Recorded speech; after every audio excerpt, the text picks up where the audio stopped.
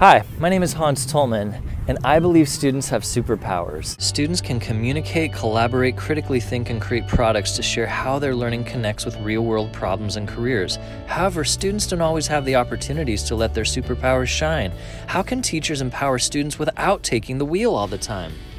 Communicating, working together, thinking outside of the box, and creating things is what makes us human. These skills are essential to who we are as people. In an ever changing world, students need to know who they are and what they can do. Students need to own this learning.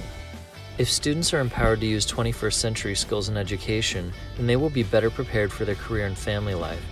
Plus, if the kids are doing the work to prepare for their future, then teachers can focus on feedback instead of time consuming tasks. We must empower our students today. It's a win win.